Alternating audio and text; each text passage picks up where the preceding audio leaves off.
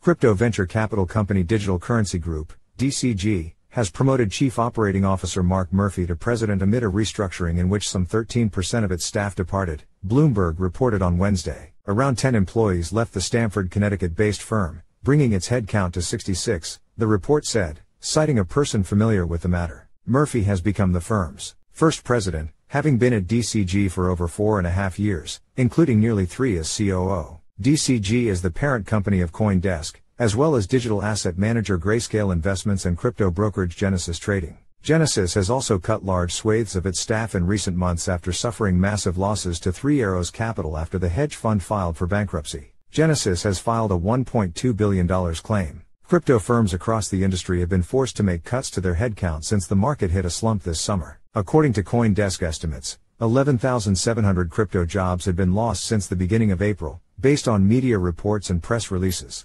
DCG did not immediately respond to CoinDesk's request for comment.